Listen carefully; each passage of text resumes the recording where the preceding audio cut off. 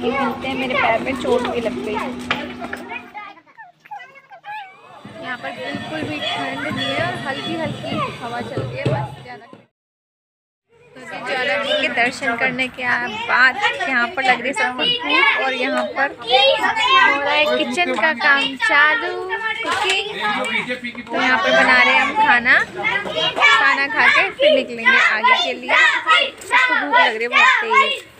चलिए पहले hello my YouTube family तो ज्वाला जी से दर्शन करके आने के बाद हम बना रहे हैं यहाँ पर पिकनिक मतलब कि हमें लगी है भूख और यहाँ पर स्टे करके हम बना रहे हैं खाना। और बच्चे कर रहे हैं यहाँ पर इंजॉय क्योंकि यहाँ पर है नल और यहाँ से लाएँगी दीदी पानी क्योंकि खाना बनाने के लिए पानी की ज़रूरत तो पड़ेगी ही। तो चलिए यहाँ पर खाना तो रेडी हो गया और मैं बना रही हूँ रोटियाँ तो रोटी भी हमारी बनने वाली है। बाकी गर्मी बहुत ज़्यादा हो रही थी यहाँ पे ऐसा लग रहा था ठंड हो रही है लेकिन यहाँ पर ठंड नहीं है यहाँ पर है गर्मी क्योंकि धूप बहुत ज़्यादा हो रही है। टाइम शायद ढाई बज रहा था उस टाइम तो यहाँ पर ढाई बजे हम बना रहे हैं रोटियाँ पहाड़ियों के बीच में। यहाँ पे बन रही हमारी रोटियाँ। गर्मी लग रही है बड़ी तेज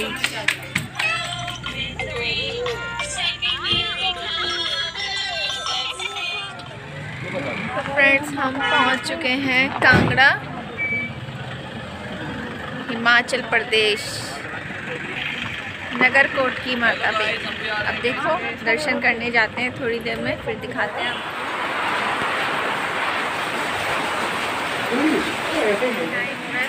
ग्यारह बज रहे हैं और फिर तेज़ बारिश हो रही है, बहुत ज़्यादा तेज़ बारिश हो रही है तो हमने सोचा था कि हम जिस टाइम पहुँचे, उसी टाइम दर्शन करेंगे, लेकिन बारिश बहुत ज़्यादा तेज़ हो रही थी तो इस वजह से हम रात को दर्शन करने नहीं गए। हम जाएँगे मॉर्निंग में, और ये है मॉर्निंग का इतना प्यारा व्यू लग रहा था, यहाँ पर सामने बर्फ़ जमी हुई हो तो बहुत ही प्यारा मौसम हो रहा था। चले दर्शन, नगर कोट की माता को। नगर कोट की माता के दर्शन करने जा रहे हैं। कल रात बारिश हुई थी तो बर्फ़ के दर्शन करने वहीं मिलते हैं जय माता दी यहाँ की बिल्कुल सीधी चढ़ाई है जय माता। जय माता दी। जय माता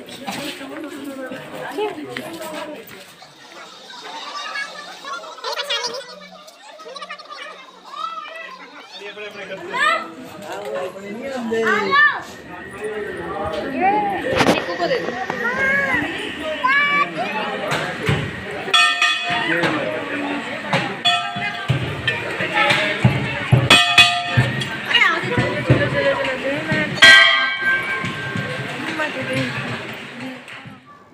तो यहाँ पर आप नगरकोट की माता के बिल्कुल साक्षात दर्शन करोगे, बिल्कुल आमने सामने। तो आइए आप भी दर्शन कर लीजिए नगरकोट की माता ऐसी हैं। इतनी सुंदर और यहाँ पर हमने बहुत अच्छे से दर्शन करे क्योंकि मंदिर में बिल्कुल भी भीड़ नहीं थी। बहुत ही अच्छे दर्शन करे और दो बार करे। तो आप भी ज़रूर आइए और आप इस महीने में ही आए तो बहुत, आप अक्टूबर के महीने में आएँगे तो बिल्कुल भी भीड़ नहीं मिलेगी।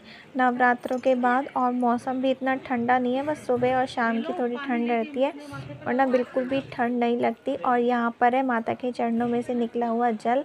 और जल ऐसा लगता है बिल्कुल वाइट जैसे नारियल का पानी होता है ना मीठा मीठा वैसे ही है बिल्कुल बहुत ही टेस्टी और बहुत ही अच्छा। बिल्कुल दिखने में भी एकदम वाइट है आपको दिखाऊँगी मैं। और यहाँ पर मंदिर बन रहा है और यहाँ पर झरना भी था वो उसका रास्ता यहाँ पर बंद कर दिया गया है। और यहाँ पर अब न्यू मंदिर बन रहा है पूरे चारों तरफ़ से और यहाँ पर होता है हवन कुंड और ये मंदिर बहुत ही ऊँचा है ये देखिए बहुत ही ऊँचा मंदिर है। और बहुत ही प्यारा और काफ़ी अच्छा मंदिर है तो आप एक बार ज़रूर आइएगा। बहुत ही प्यारा मंदिर है तो आप भी दर्शन कीजिएगा और बहुत ही सुंदर मंदिर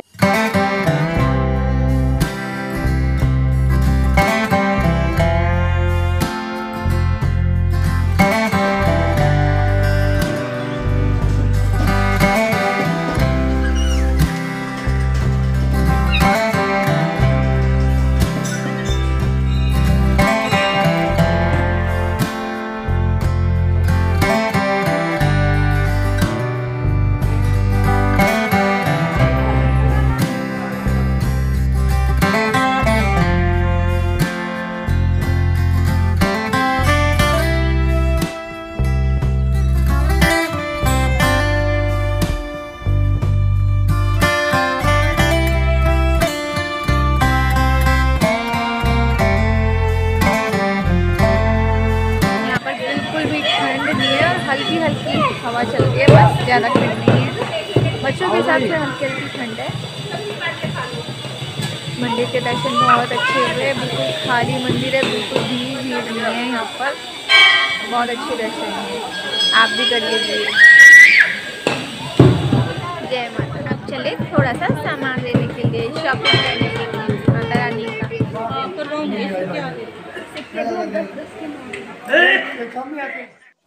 तो यहाँ पर मेरे साथ बहुत बड़ी दुर्घटना होने से बच गई, क्योंकि मैं गिर गई थी, गुड्डू मेरी गोदी में था और मेरे पैर के नीचे आ गया था मोटा वाला मार्कर, जिससे मैं बैलेंस नहीं बना पाई और मेरा पैर फिसल गया। और घुटने में मेरे बहुत तेज़ चोट लगी थी, बिल्कुल भी नहीं चला जा रहा था। बहुत ज़्यादा चोट लगी थी। तो अब बस दर्शन करके हम लोग निकल रहे हैं। अब कौन सी माता के दर्शन करेंगे आप लोग? तो वो मैं बताऊँगी अगली वीडियो में। बाकी वीडियो को करें लाइक, शेयर, सब्सक्राइब और कमेंट्स करके ज़रूर बताएँ कि आपको दर्शन कैसे लगे और वीडियो आपको कैसी लगी। तो मिलेंगे आपसे अगली वीडियो में और कौन सी माता के मिलेंगे वो मिलेंगे आगे।